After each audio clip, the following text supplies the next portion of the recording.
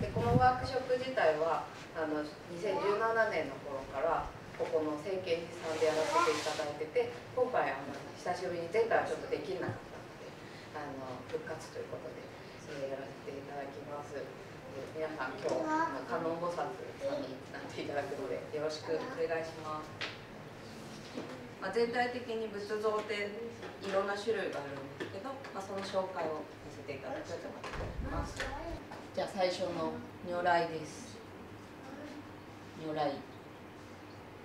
悟りを開いたものの総称でして目覚めた人。ブッダと呼ばれているのがこの如来像になってます。で如来さんの特徴は頭なんですけれども螺髪という一粒一粒右旋回でこうくるくるっとままとまった髪の毛の塊がくっついているのが特徴です。あで鎌倉の大仏は656個。奈良の大仏は966個頭につけてるのですごいつけるのに相当の年月が、まあ、さ3年の年月がかかったと言われてます。で、えー今日なっていただく菩薩を紹介していただきます。菩薩観音菩薩が所属しているのがこの菩薩さんになります。ちょっと飾りの名前が頭につける今日つけるのもこの宝冠また天冠があと首飾りがヨーラっていうちょっとこれは作れてないんですけど、えーあとは天冠体こういった飾りがついてる部分っていうのは実は人間のあのー止血をす。る部分だったりあの洋楽は暑い国だったらここに金属をつけてる。とあの冷やせる。みたいな役割がある。そうであの医療的な形にもなってる。ナチュラルとベージュがお父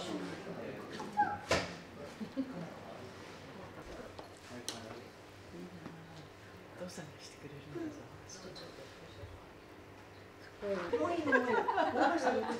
おお下側もうちょっと顔がちっちゃい下側もちょちょっとだけこう下に下げすぎるとちょっとタヌキみたいになっちゃうんであのキリッと切れ長な感じにするのは少し垂れ目にするって感じですねで閉じてください。あとは中を塗るだけすごいね。やってみよう。一回自分で。上見てください。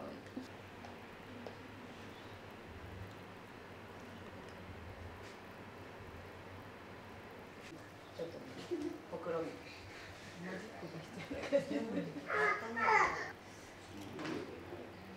赤の人は大概緑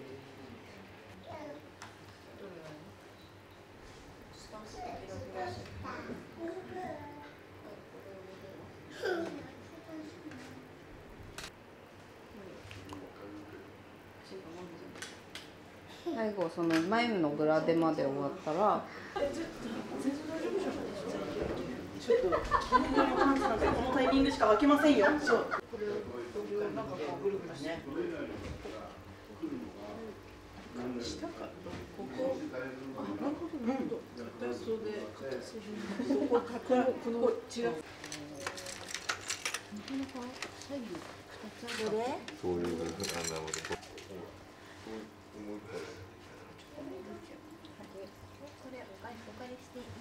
あどうぞどうぞすごいその結び方ができるところが。いやなんかうんうん。どうだ？大丈夫そうかな？あできたできた。どう？どどのちょっと待って下がっちゃうあだって全然あれでね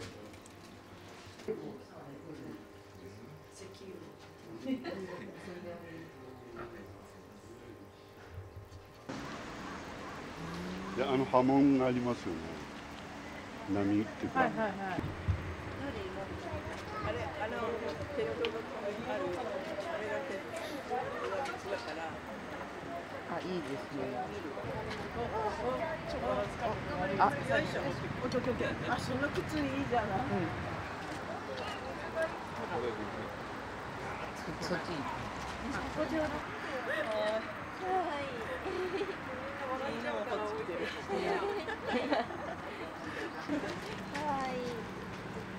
かわいい。あ、いいね。すごいすごい。こ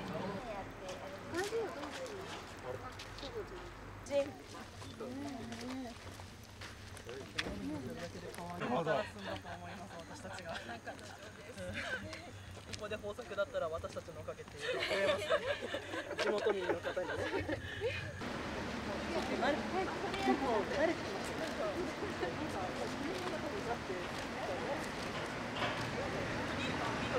の方がいいのかもしれない。銭感はちょっとあるから。ちょっとずれて。あ、ちょっとずれる。ちょっとそこにずれる。どうすればいい？かっこいいかっこいい。やったぞじゃあ後ろポーズ取ってしまいいね。今すぐ言いたいです。